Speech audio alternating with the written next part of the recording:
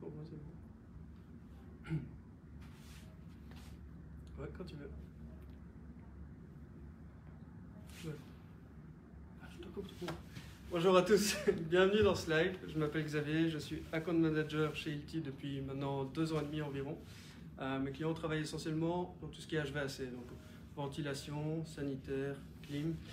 Euh, et je suis spécifiquement sur la région de Bruxelles essentiellement. Aujourd'hui, je vais vous présenter une nouvelle gamme qui vient je vais dire, compléter notre gamme de supportage actuelle. Euh, ça s'appelle le Wire System. On va y venir dans un instant. Parce qu'avant, je suis intéressé de savoir d'où vous nous regardez. Donc, euh, n'hésitez pas à le dire directement en commentaire de la vidéo. Ce sera fort apprécié. Euh, le système Wire System, et ici, est plutôt pour tout ce qui est application légère et moyenne. Euh, donc, tout ce qui va être plutôt chemin de câble, gaine de ventilation rectangulaire ou circulaire, des tubes lumineux, ce genre de choses. Donc, plutôt électricité et ventilation, en tout cas à l'heure actuelle. Le wire system, comme son nom l'indique, c'est un système à base de câbles. Donc, si vous regardez ici, vous avez un petit échantillon de ce qu'on peut retrouver pour compléter le système. On a deux types de câbles différents euh, qui existent en longueur et en sections différentes pour reprendre des charges de différents calibres, on va dire. Mais le plus important, c'est de faire un premier choix entre ces deux types de câbles. Donc, on a le câble, ils ont d'office une boucle au bout, mais soit on y a serti déjà un boulon, soit pas encore. L'avantage du boulon déjà serti sur le câble, c'est qu'on peut le fixer directement dans une, je suis sûr et certain que vous la connaissez, notre best-seller, l'HUS 3i6. Donc c'est celle-ci. C'est une vis béton qu'on va boulonner directement dans le béton après y avoir foré un trou de 6 et qui a une tête femelle qui permet de visser directement du M8 ou du M10 dedans.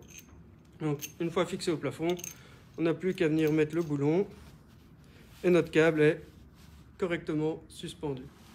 Donc ça c'est pour la version avec le boulon sorti au bout. Et alors, pour la version sans boulon, ça nous permet d'être un petit peu plus flexible et d'utiliser d'autres types d'accessoires. Comme par exemple le crochet qui nous permet de nous fixer dans un style deck directement. Euh, donc on vient se fixer ici directement dans la tôle et notre câble est correctement suspendu. Ou alors, par exemple, un autre accessoire, c'est le clip. Il nous permet de venir mettre la boucle directement sur l'accessoire.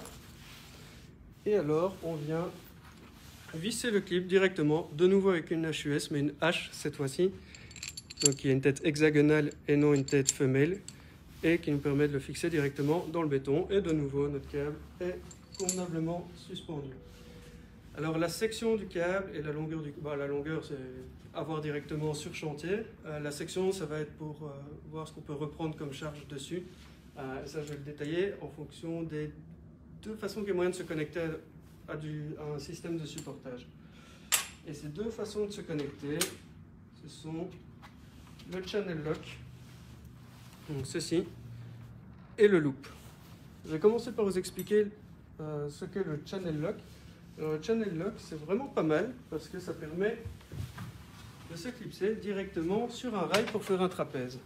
Donc, je vous donne un petit exemple ici, je suis sûr que vous connaissez ça. Donc, ce sont des plaquettes rails, qu'on appelle les MQAS chez nous, chez Liti. Donc, on le fixe directement dans le rail. On s'assure de le mettre en face du trou oblong ici pour être sûr de pouvoir faire passer le câble. Voilà, donc les plaquettes sont bien mises et elles seront serrées une fois que j'aurai bien mis les channel lock dessus que je les aurai serrées.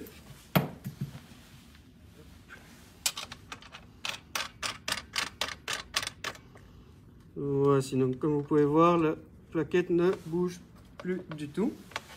Et alors, c'est vraiment d'une énorme simplicité pour les placer, puisqu'il suffit tout simplement de passer, ici on a déjà suspendu des câbles, de les passer simplement dans le trou du channel lock, d'un côté comme de l'autre.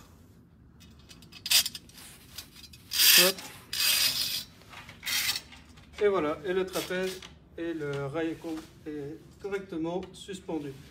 Ici, je n'ai pas encore réglé le niveau ou quoi que ce soit, mais vous voyez que directement, une fois que j'ai passé le câble, ben, voilà, ça tient directement. Je n'ai pas eu besoin de pince, rien du tout. une fois que j'ai nivelé convenablement, donc c'est très facile, hein, je n'ai qu'à ajuster en appuyant ici sur cette pièce-ci, j'appuie et alors je suis flexible. Disons que je suis OK, que je trouve ça de niveau, je vais simplement serrer le petit écrou ici, et alors je n'aurai plus l'occasion de bouger le, channel lock. Donc une fois ça fait, on est OK, on n'a plus qu'à couper l'excédent de câble. Et, voilà, c'est aussi simple que ça.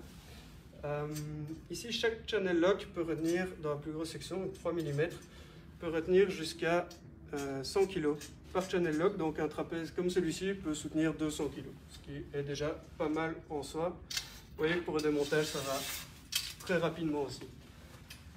Le gros avantage ici, c'est que je n'ai pas utilisé de tige filetée, donc ça a été beaucoup plus vite parce que je n'ai pas dû les couper, les ébavurer. Euh, ça évite des risques aussi, parce qu'on sait très bien que les disqueuses, c'est quand même un objet assez dangereux. Euh, donc voilà, pas de disqueuse, pas de tige à couper, ça va beaucoup plus vite. Et surtout, c'est très flexible au niveau du nivellement. Ensuite, concernant les, ce qu'on appelle les loupes, donc c'est ce qui ressemble ici à des petits cadenas, tout simplement. J'ai sur chaque pièce un sens avec une petite flèche qui me dit comment mettre le câble. Donc ici, c'est aussi simple que pour le channel lock. Je n'ai qu'à venir passer le câble directement, hop, comme ceci. Je vais faire pareil de l'autre côté.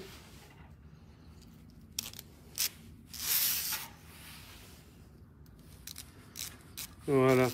Et donc ici, j'ai fait des boucles euh, qui sont à la hauteur que je veux et qui sont du diamètre que je veux puisque je peux facilement le régler comme ceci en adaptant seulement la longueur des câbles à chaque fois. Mais que je vais faire passer cette gaine de ventilation ici. C'est très simple, je la glisse dans mes boucles. Vous voyez que ça tient déjà. Euh, et je vais pouvoir faire mes réglages tranquillement, soit adapter le diamètre de la boucle, soit directement régler la hauteur du,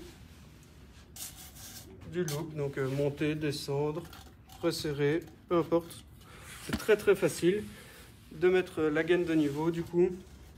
Une fois que c'est fait, même concept, je n'ai qu'à serrer les écrous ici et on est bon. Pas besoin de pince, pas besoin de tige filetée, facile à régler. Donc c'est vraiment l'idée. Et sur les loupes, on va dans des sections, on peut aller jusqu'à des sections beaucoup plus grosses, jusqu'à du 5 mm pour le câble. Et avec ce type de loupe, on peut reprendre directement 270 kg. Donc euh, là, on peut déjà aller dans du plus massif entre guillemets. Euh, pour conclure, moi je que, voilà, comme vous avez pu le voir, ça va quand même très très vite à installer.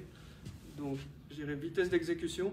Au niveau esthétique, si on parle de tube lumineux où le supportage va rester apparent, bah, c'est quand même beaucoup plus beau puisque ça se voit beaucoup beaucoup moins que des tiges.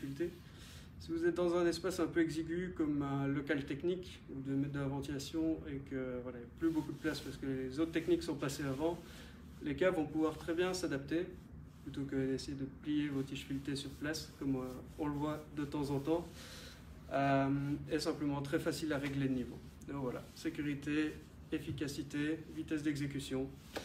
Euh, c'est à peu près tout.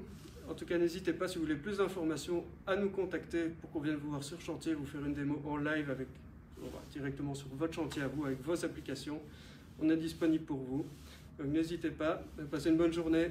Au revoir.